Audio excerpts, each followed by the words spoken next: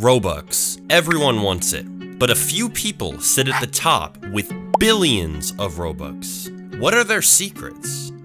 What are they hiding? How can you do the same thing? Today we're gonna go into the secrets of earning Robux, the formulas, the equations, the principles that no one else is talking about. These are some things that have helped me to gain over 2 million Robux. And I'm not saying that to brag, I'm saying that to show you the world of possibilities from these secrets that no one else talks about. And I'm also gonna shatter some myths about earning Robux so that you can get on the fast track to success on Roblox. First, let's talk about leverage. What is leverage? Well, this simple game from Jimmy Games is called Sussy Imposter Land, and it has almost 8 million visits and has made us millions of Robux. Now, compare this to some of my more complex games, right? I have made some games like Camping Simulator in this group called Volt Gaming Studios. I mentioned this in a recent video and we never finished it. We never dropped this game. Well, at least never in its full state, and it never got really any visits. And other things, so I tried making The Hinge in this group too. The Hinge was this cool horror game with this like, this creature that would go around the map trying to attack you. It's kind of like a classic jump scare game on Roblox, right? The thing about this is, these more complex projects and the game, the games that had a lot more huge ideas, huge plans, they never managed to really get off the ground. Why? Well, because in the world of Roblox, a lot of the times, less is more. Simplicity is going to get you a lot farther. You should use leverage. Put the least amount in to get the most amount out. It's kind of like working smart, not harder. It's the same principle. But I believe you should maximize both. Work the smartest you can, have the most leverage, get the most multiplier on what you do in the outputs that you get. But this just shows how simpler projects, how even the most weird of ideas can succeed on Roblox, and oftentimes will. Now let me hit you with another hard truth. Action and speed always trump planning. Every single time. I have seen so many devs spend months, even years planning the perfect game, making the perfect game. But here's the issue. While they're stuck in planning endlessly, other devs are dropping games really fast, learning from feedback and growing, not looking at things as failure, seeing it as feedback and making their next game. I discussed this in a lot of my recent videos about how to make an MVP, a minimum viable product, which is the bare bones, absolute minimum version of your game that is playable and fun and has a bit of monetization. If you can do this, you're gonna be able to get out more concepts, get out more projects, test what works, and build and build and build on the ones that do better, and then have a success. Remember my recent videos where I showed you how to make a simple game.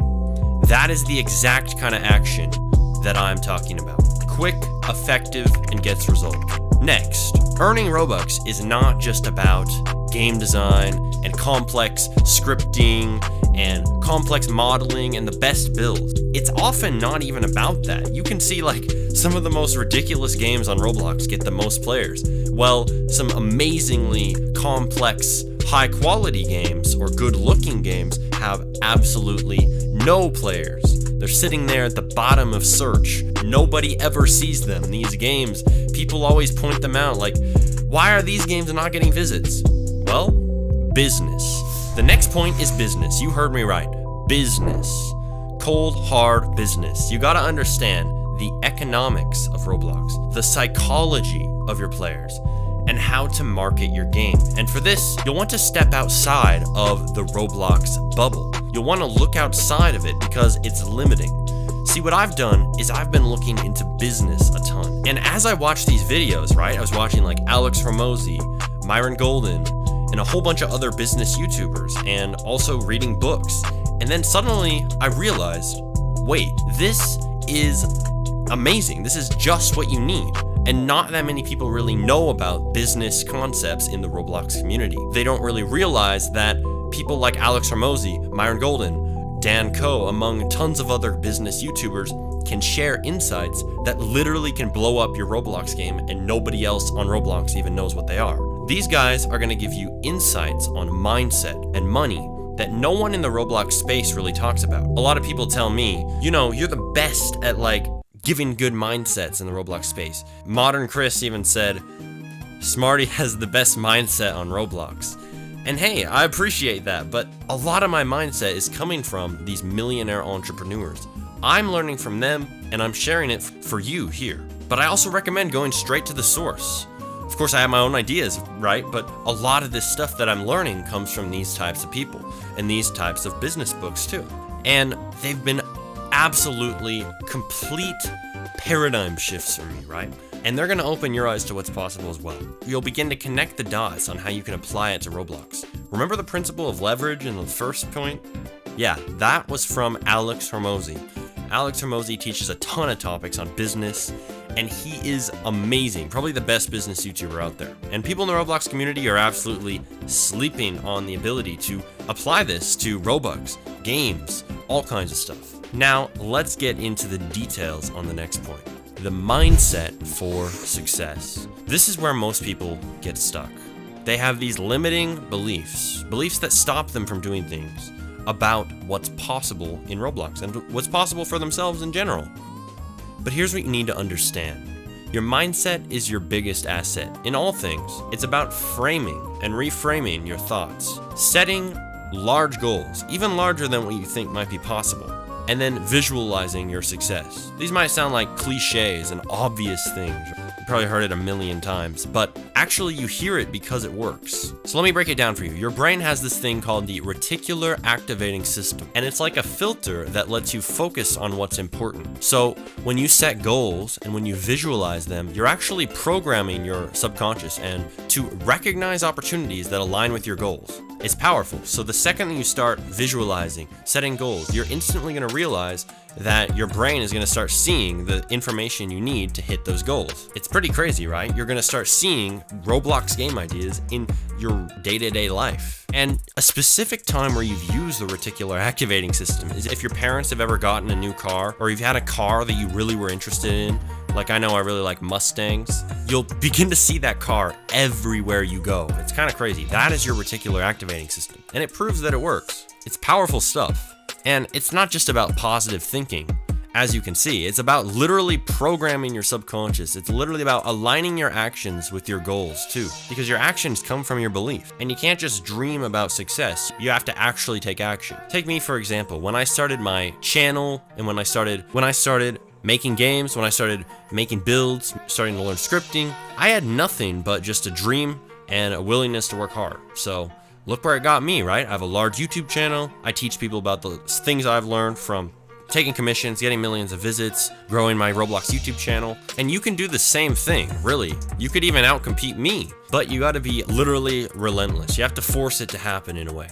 Next, let's talk about other mindset techniques that are insanely powerful, right? So let's say that you believe that you're not smart enough to learn scripting or you're not smart enough to learn Roblox Studio.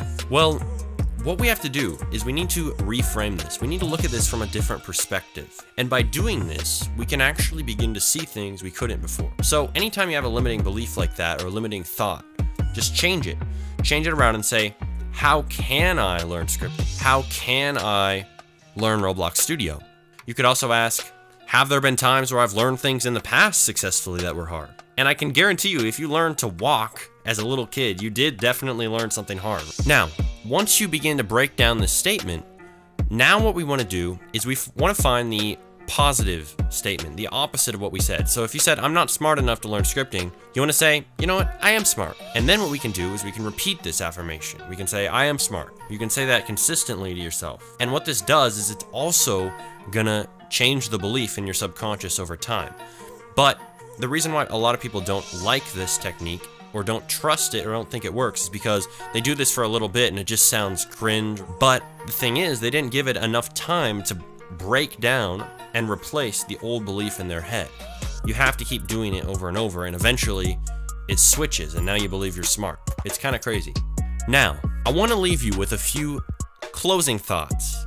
Remember, the path to success in Roblox is not linear. You're gonna face challenges, you're gonna face setbacks, and yeah, even failures. But it's not about like how many times you fall down and fail. It's about how many times you actually try again, how many times you see that failure as feedback. And when you see failure as feedback, you always can keep pushing forward because you're always going to see new things. You're going to learn things from it. You're going to see things that you couldn't see before when you were blocking your brain by just believing it was complete failure. And remember to have fun. Fun is key. Fun is the cheat code to making anything hard not hard. Makes it play, right? so yeah, click the video on screen if you want to learn more about mindset, more about earning Robux, more about unlocking powerful techniques like these, and beginning to think like a millionaire entrepreneur, but in the world of Roblox. See you in the next video.